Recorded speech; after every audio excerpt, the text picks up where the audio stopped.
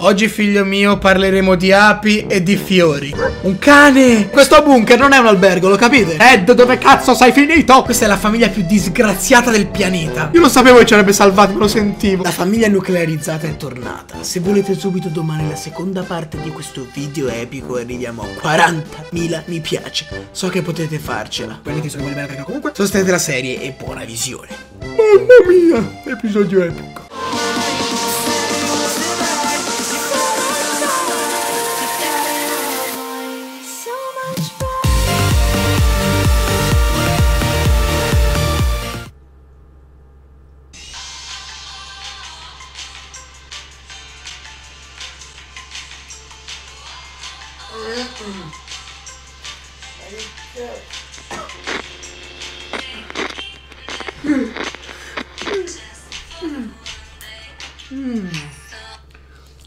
Pronto? Cosa? È arrivata l'apocalisse pure qua, ma che due coglioni! Sorre! Bene ragazzi, questa è Epni e bentornati in questo nuovissimo video della serie di 60 Seconds. Ogni episodio sta andando sempre alla grande, quindi sono veramente contento di questa cosa e di aver riportato questa serie sul canale. Mi raccomando fatevi sentire e spaccate di pollici sto video. Nel senso proprio dovete prendere il pollice e schiacciarlo contro lo schermo del vostro telefono. Così, così. Non perdiamo tempo, andiamo a giocare. Hanno aggiunto una nuova sfida a quelle disponibili. Abbiamo già fatto vacanze e luna di miele, adesso abbiamo babysitter che voi giustamente non leggete. Adesso leggete anche voi babysitter e io sono diventato l'ultima sfida, quella con i punti interrogativi. La sfida è la medesima dell'altra volta, soltanto che abbiamo degli oggetti ben precisi da prendere. Iniziamo subito, la ricompensa sarà il cappello per bambini.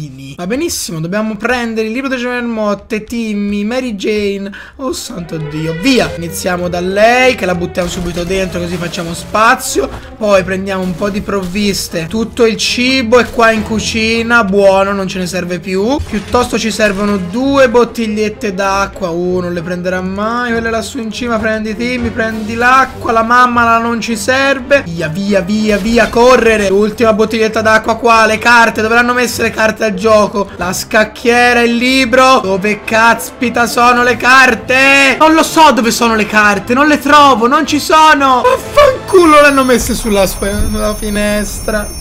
Abbiamo perso. Io devo perdere perché loro due non hanno le carte da gioco? Ma stiamo scherzando.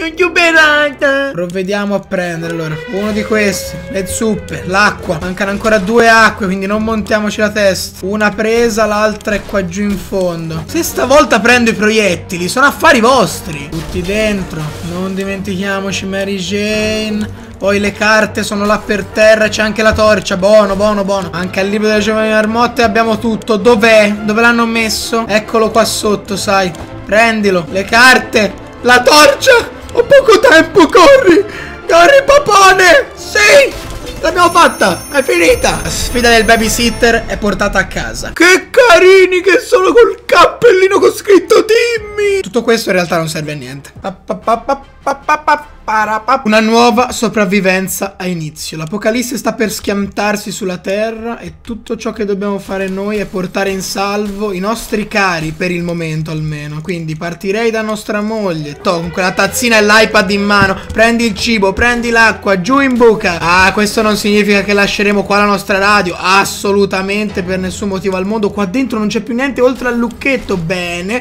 La valigia non la porto, tanto non mi è mai servita. Prendi il fucile. Ah no, no, trovo troppo. Sì, insomma, c'ha troppo spazio. Vieni, vieni, corri, corri, corri. C'è da prendere Timmy, il vero giovane marmotto, un botto di roba ancora. Timmy, cosa pensi di fare lì per terra? La maschera non ho intenzione di lasciarla per nessun motivo al mondo. Vai, vai, vai, vai, vola come se non ci fosse un domani. Ci sono le poltrone che girano a tutto spiano. La mappa, la mappa, la mappa, bravo. Via, via, via, via, via. No, non posso lasciare Mary Jane, mi dispiace troppo. Vieni qua, schifosa. No, no, mi dispiace Mary Jane. Scusa. Torritetta. Ho preso la zuppa invece di prendere Mary Jane.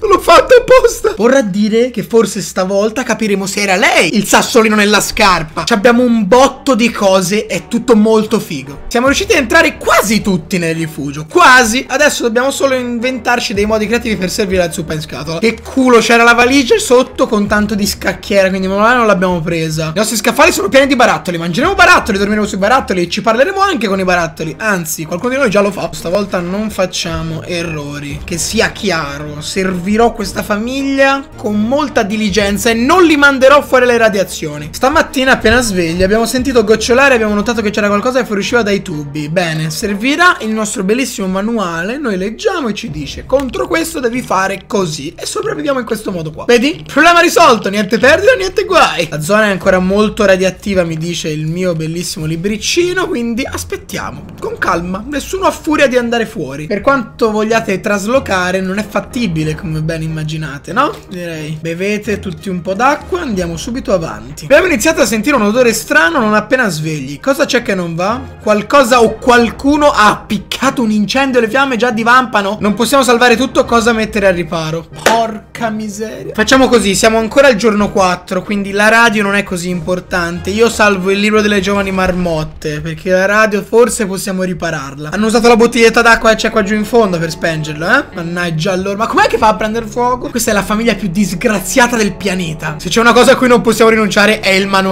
scout, eh, ovviamente. Uscire in questo momento è pericoloso, a meno che qualcuno non abbia voglia di ammalarsi. No, sto benissimo così. La claustrofobia è difficile da combattere, specialmente in un bunker così piccolo e caotico. Se potessimo soltanto aprire la porta per qualche minuto e fare entrare un po' d'aria. No! Entrano le radiazioni, ragazzi, date retta a me. E la porta chiusa è stata la scelta migliore, lo so bene. È il giorno 6, per quanto mi riguarda possiamo farli mangiare domani, ma senza problemi. Qualcosa non quadra, vediamo. Il ronzio del ventilatore c'è. Strani rumori nel tubatore ci sono. Urla infernali dall'esterno ci sono. Uh, un momento, Dolores è in silenzio da troppo tempo, che strano. Sarà bene parlare un po' con lei. E parliamoci. Problemi familiari, cose simili. Vedi, abbiamo parlato, lei sta bene, fa bene parlare. Hanno sete? Non hanno fame? Com'è possibile che non hanno fame, ragazzi? È il giorno numero 7. Non mi hanno chiesto del cibo, quindi io non gli do niente, eh. Ve lo dico. Magari al giorno numero 8 sarà bene farli mangiare e bere. Esatto, infatti stanno impazzendo. Super festa, ragazzi, oggi. Tutti a mangiare a bere. Non c'è verso di uscire perché ci sono le radiazioni. Ok. È ancora molto radioattivo, ma che due coglioni. Cioè, così non usciamo mai. Oggi ci hanno fatto visita dei tizi davvero bizzarri. Uno di loro imitava il rumore di un cavallo al galoppo battendo due pietre una contro l'altra. Va bene! E intanto il compagno fingeva di cavalcare questo destriero immaginario. Ci hanno detto di aver intrapreso la ricerca di una coppa magica importantissima, ma purtroppo si sono persi nella landa desolata. Ci hanno chiesto di dare uno sguardo alla mappa. Sicuramente, guarda, un cavallo e il suo destriero gliela faccio proprio vedere. Giorno 10, ancora ci sono radiazioni. Ma che pizza! Cos'è sta cosa? Non ci aspettavamo telefonate subito dopo una catastrofe nucleare. Invece ecco chiaramente lo squillo di un telefono all'esterno. Deve essere la cabina dall'altra parte della strada. Forse qualcuno dovrebbe rispondere. In questa situazione direi che Dolores è la persona adatta a svolgere questo ruolo, no? Run, Dolores, run! Si trattava dei sopravvissuti della città di Hill Valley. Abbiamo iniziato a scambiarci informazioni, poi è caduta la linea. Qualcosa deve essere andato storto a loro. Ted sembra avere un piano nella fossa. Ma come? Di già, bevete. La contaminazione è ancora molto alta, quindi non se ne parla perché se esce a fare una spedizione ti ammali. Se esce a rispondere al telefono va benissimo. Che situazioni bizzarre crea questo gioco. Anche se non hanno fame io direi di darglielo da mangiare perché fidarsi è bene, non fidarsi è ancora molto meglio. Se l'indomani ci sono ancora radiazioni io me ne frego e mando qualcuno, eh. Cioè che due pizze. Tanto Dolores sei immune. Non sappiamo com'è la situazione. Già meglio, io preparo la spedizione. La pazienza si sta esaurendo e infatti sono d'accordo. Avevamo pensato fosse una buona idea andare velocemente in superficie per vedere cosa stesse succedendo. Ma appena prima di uscire, due occhi animaleschi si sono accesi nell'oscurità e abbiamo sentito ringhiare in modo terrificante. E cosa decidi di fare? Prendi la torcia, tiragliela in testa, non lo so. Un cane! Raga, ho sentito il rumore di un cane! Abbiamo deciso di dare un'occhiata. A grande sorpresa di un cane, quella povera creatura era stanca e abbiamo deciso di accogliere tra di noi per la notte. Il giorno successivo abbiamo aperto la porta per lasciarla libera e non si è ancora fatta viva. Che stronzi! Che stronzo, volevo dire il cane! Ah, finalmente! Una bella giornata per andare fuori. Tocca a Dolores, ragazzi, avevamo deciso. Ti do la maschera, tanto o la usi tu o non la usa nessuno. Bye bye, Dolores, bye bye! Oggi, figlio mio, parleremo di api e di fiori. No, forse sei ancora troppo piccolo, Timmy. Bevete entrambi, così molto con calma. E il giorno 16 finisce in un batter d'occhio che neanche ce ne siamo accorti. Durante la notte abbiamo sentito dei rumori sospetti provenire da dietro la porta. Stamattina abbiamo aperto piano piano, trovando lì una valigia di pelle. Non riporta né indirizzo né il nome, ma siamo certi che sia per noi. La apriamo. Ops, per. Diventiamo ricchi, Timmy. Cazzo, c'era la malaria dentro la valigia. Sembrava un'innocente bottiglia d'acqua, quindi abbiamo bevuto un sorso. Abbiamo pensato di essere sfortunati, ma invece proprio per niente. L'acqua era un radioattivo, era una specie di arma biologica.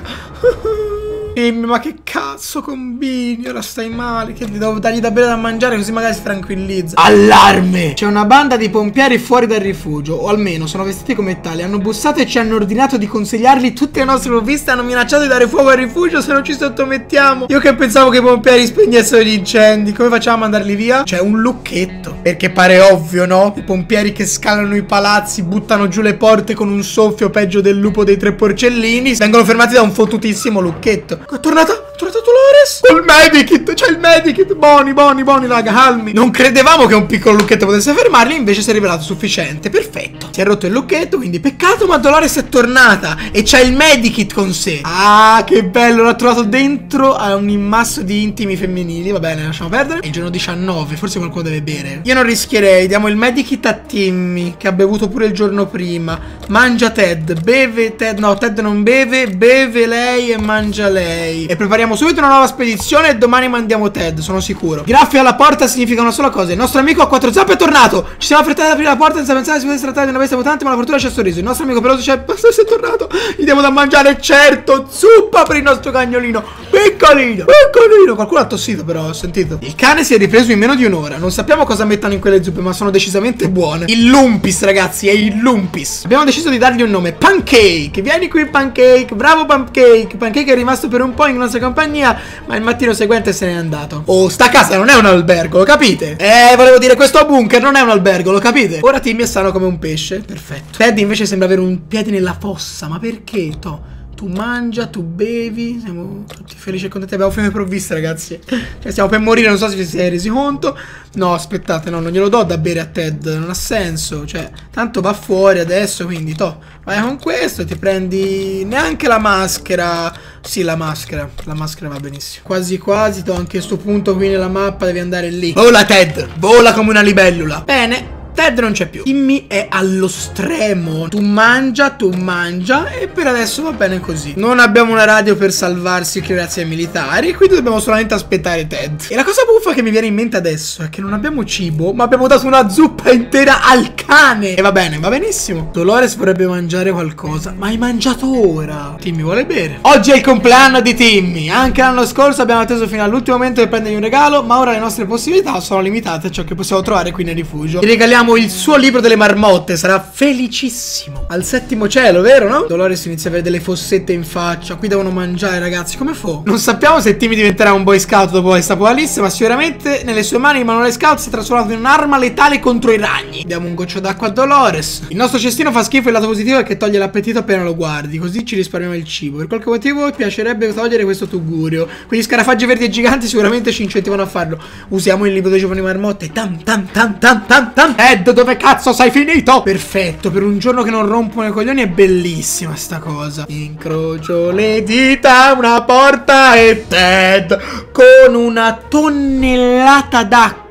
Credo che Ted abbia avuto giorni migliori. Encontramos una prateleria come un cartaz che dia tutto por 99 centavos, ma solo stav graffas agua che por esse preco è un rombo. Sì, Siri, mi spieghi che cazzo hanno detto? Sto giocando a un giochino per fare un video e dall'italiano passa allo spagnolo a caso. Insomma, sono riusciti a prendere dell'acqua, un medikit, la radio e hanno perso però la maschera. Timmy non beve da troppo tempo, Timmy è stanco. Eh, che caspita devo inventarmi, ragazzi. Cioè, io posso dare anche da bere a tutti quanti. Ma il mangiare è finito. Qui dobbiamo assolutamente fare una spedizione. Ma nessuno può andare fuori perché? Non posso andare a trovare le sorelle gemelle degli altri. Già ho perso Mary Jane, figuriamoci. Resistete ancora un giorno che facciamo la spedizione, tranquilli. Sono tutti deboli e stanchi. Va bene, che ti devo dire? Nessuno può andare a fare la spedizione. Allucinante sta cosa. Appena abbiamo sentito abbaiare, ci siamo precipitati verso la porta. Questa volta avevamo ragione. Era Pancake, era tornato da noi, ma non voleva entrare. Al contrario, era ansioso di condurci a qualche parte.